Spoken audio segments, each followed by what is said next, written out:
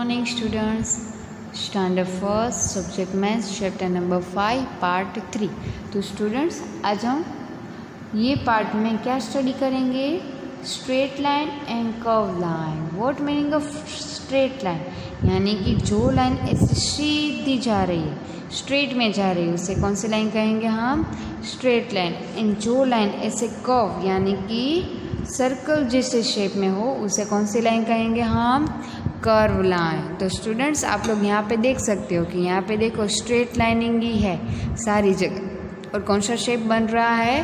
Plus जैसे sign बन रहे बन रहे हैं ना? यहाँ पर भी प्लस जैसे साइन ही हमें पिक्चर दिख रहा है, लेकिन वो कौन सा शेप है? कर्व शेप में है। यानी कि ये देखो सर्कल जैसा शेप है, यानी कि कर्व शेप यानी कि स्टूडेंट्स आप लोग देख सकते हो ये कौन सी लाइन है? स्ट्रेट लाइन यानी ये कौन सी लाइन है? Curve line. ओके, स्टूडेंट्स तो यहाँ पे हम देखेंगे, प्रैक्टिस करेंगे, क्या दिया है? Observe the line in the following shape and tick whether they are straight और कर्व्ड। हमें पिक्चर्स देखना है और नीचे लिखा है कि स्ट्रेट लाइन है कि कर्व लाइन वहाँ पे हमें क्या करना है? टिक करना है। ओके स्टूडेंट्स तो फ़र्स्ट शेप कौन सा है? यस स्क्वायर कौन सा शेप है? स्क्वायर तो ये स्क्वायर शेप में आप लोग देख सकते हो कि स्ट्रेट लाइनिंग ही है। लाइनिंग ही है ना? यानी कि यहाँ पे कहाँ पे टिक करेंगे? हम स्ट्रेट लाइन में क्योंकि ये इसमें कर्व शेप नहीं है। देन नेक्स्ट सर्कल तो ये सर्कल किसमें आएगा? स्ट्रेट में या फिर कर्व में? यस ये कौन सा शेप है? Curve shape then next triangle तो ट्राइंगल में देखो स्ट्रेट लाइनिंग ही दिख रही है, यानी कि ये कौन सा शेप में आएगा? स्ट्रेट देन ये कौन सा शेप है? ओवल ओवल शेप किसमें आता है? कर्व शेप में, यानी कि हम कर्व में टिक करेंगे. देन नेक्स्ट डायमंड शेप तो कि कैसी वहाँ पे देखो लाइनिंग ही है कि कर्व शेप है. स्ट्रेट लाइनिंग यानी कि हम यहाँ पे टिक करेंगे. Okay then next exercise joint A to B B to C and C to D using straight line यानी कि ए से डी तक हमें ज्वाइन करना है। वो कैसे करना है? स्ट्रेट लाइन में करना है। ओके स्टूडेंट्स तो चलो हम करते A to B B to C and C to D देखो हमने स्ट्रेट लाइन कर दी है students yes then next information क्या दी है? Then join E to F, F to G and G to H using the curve line तो हमें कौन सी लाइन करनी है? ये चारों पॉइंट्स को ज्वाइन करने के लिए कर्व लाइन तो चलो स्टूडेंट कर्व लाइन करते हैं. E to F F to G and G to H तो ये हो गई हमारी curve line okay students then next information Complete the following pictures. By drawing straight or curved lines. After that, color the figure to make them beautiful. तो देखो ये dots dots वाली line दी है ना स्टूडेंट्स को। उसके ऊपर आपको क्या करना है? जो शेप दी है वो शेप आपको ट्रेस करना है। और उसमें क्या करना है फिर बाद में? फिलअप करोगे। क्या करोगे आप लोग स्टूडेंट्स फिलअप करेंगे हम लोग। तो फ़र्स्ट ये देखो आइस दी है तो वहाँ पे कव लाइन जैसा शेप है। कौन सा शेप है? कव लाइन तो चलो, हम हम लोग स्टार्ट करते हैं कि लाइन के ऊपर लाइन ट्रेस करते हैं। तो स्टूडेंट्स आपको वैसे ही अच्छे से करनी है कि आउट ना जाए। इसे लाइन के ऊपर ही लाइन आनी चाहिए। फिर बाद में क्या करोगे आप लोग? जैसे आपको जो जो भी कलर आपको पसंद है, अच्छे लगते हैं, वो कलर आप लोग क्या करोगे? फिलअप करोगे। ओके तो ये हमारी आइस जो हो गई है। देन नेक्स्ट क्या है? काइट तो वो हम ट्रेस करेंगे।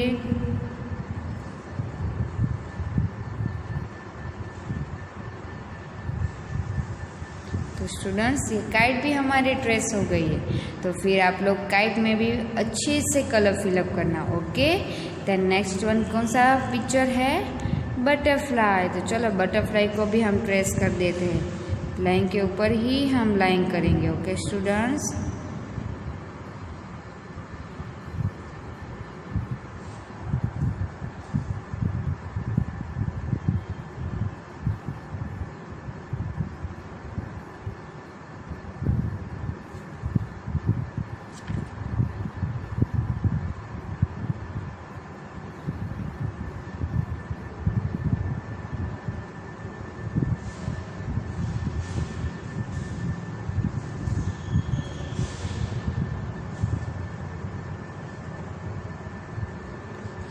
ओके स्टूडेंट ये हमारा ड्रेस कंप्लीट हो गया और आपको फिर क्या करना है इसमें? कलर फिलअप करना है। Okay students then next fun activities देखो, यहाँ पे देखो, क्या दिख रहा है आपको? हेलीकॉप्टर जैसा प्लेन दिख रहा है एंड देन ट्रेन तो आपको क्या करना है? एक शीट लेनी है और इस शेप आपको अच्छे से कट करके फिर मैच करना है और ऐसा आपको पिक्चर्स आपको बनाना है और उसके ऊपर आपको क्या करना है? फिर कलर करना है। ओके स्टूडेंट्स देन नेक्स्ट देखेंगे हम लोग। Tick the object and match the shape show on the left यानी कि आपको यह जो पिक्चर्स दिख रहा है वहाँ पे आपको मैच करना है। तो देखो फ़र्स्ट डार्क लाइन में जो पिक्चर्स है, वो हमें अदर पिक्चर में देखना है। ओके फ़र्स्ट क्या है? क्यूब यानी कि सर्कल जैसा ही होता है। ये सॉलिड शेप कहते हैं इसे। क्या कहते हैं हम लोग? सॉलिड शेप तो ये सॉलिड शेप है। वैसा कहाँ पे है? क्यूब जैसा शेप दिस वन तो यहाँ पे हम क्या कर देंगे? टिक कर देंगे। Okay students then next sphere यानी कि सर्कल जैसा शेप सर्कल प्लेन शेप यानी कि सर्कल एंड सॉलिड शेप यानी कि स्पीयर तो ये सर्कल जैसा शेप कहाँ पे है? ये रहा। दिस वन भी है और दिस वन भी है। Okay students then next cuboid cuboid यानी कि रेक्टेंगल जैसा शेप क्यूबर्ड यानी कि रेक्टेंगल प्लेन शेप में उसे रेक्टेंगल कहते हैं सॉलिड शेप यानी कि क्यूबर्ड तो क्यूबर्ड कहाँ पे दिख रहा है हमको? ये रहा। बॉक्स जैसा दिख रहा है, वो कौन सा शेप है? क्यूबोर्ड द नेक्स्ट कौन कौन यानी कि ट्राइंगल शेप यानी कि प्लेन शेप में उसे हम कौन कहते हैं एंड सॉलिड शेप में सॉरी प्लेन शेप में उसे ट्राइंगल कहते हैं देन सॉलिड शेप में क्या कहेंगे उसे? कौन तो वेर इज़ कौन जैसा शेप दिस वन कौन ही दिया है. You like everyone yes me also then last one cylinder shape cylinder shape यानी कि ओवल शेप यानी कि स्ट्रेट लाइन भी आती है उसमें और कर्व लाइन भी आती है। तो सिलेंडर जैसा शेप कहाँ पे है? ये रहा गिफ्ट बॉक्स है। वो कौन कैसा शेप है? Cylinder shape. ओके स्टूडेंट्स ये हमारी एक्टिविटीज़ यहाँ पे फ़ोन एक्टिविटी कंप्लीट होती है। देन नेक्स्ट एक्टिविटी देखते हैं।